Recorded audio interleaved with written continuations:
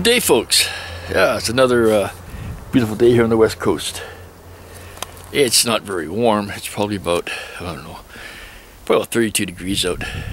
Maybe one or two above, like 33, 34, but whatever.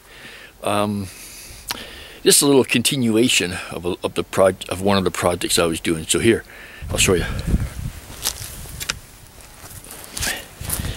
Uh, the that axe I was building battle axe or whatever the heck it was. Well, uh, here, I'll, uh, I'll show you. One sec.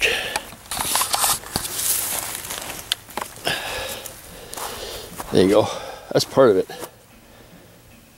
I haven't figured out what I'm going to do with that side yet. But yeah, you know, it's, it's kind of wicked good zombie apocalypse tool. Yeah. The only thing is, I've been trying it on uh, these old pieces of wood here and everything like that. And it goes into them okay, you know, it doesn't do anything, but that one bolt there, you know, that makes the head loose. So I might, you know, drill another hole there and uh, see what happens. Okay, be right back. Hang on, folks. Sorry about that, folks. Phone call. The only thing bad about cell phones but yeah, it's uh, it's roughly sharpened up right now. I mean, I'm going to take a file to it and I can find, you know, finish it off. But you know, I didn't really build it, you know, to go and use full force or anything like that. Just, eh, thought I'd build it. But yeah, you know, it's not too bad. You know, it looks looks pretty medieval. And like I said, that bolt there is the only one holding the head on and it's a little bit loose but I can always put another bolt into it or uh, I don't know do something to it. But yeah I mean it's just something like I said I made up. But yeah you know it's pretty cool. You know it's pretty in line you know.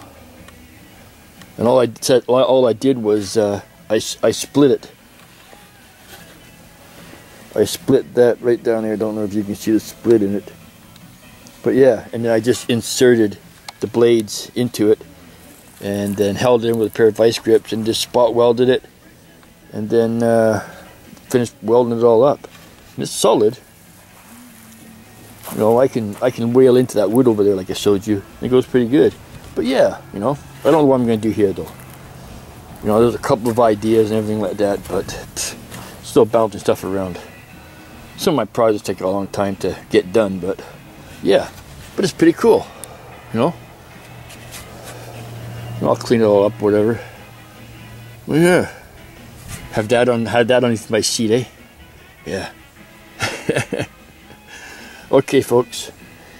So uh, yeah, hope everyone had a great New Year's. Hope everyone didn't get too loaded and can't remember what they did. And hopefully nothing, none of it will show up on either Facebook or YouTube. okay, everybody. Well. Uh, everybody take care, eh? And like I said, uh, hope New Year's was great. Partied your face off, or just stayed at home with a wife and uh, had your own fun. okay, well, Betty, well, uh, take care. Uh, build on and uh, peace out. Okay, dudes. Talk to you later. Bye.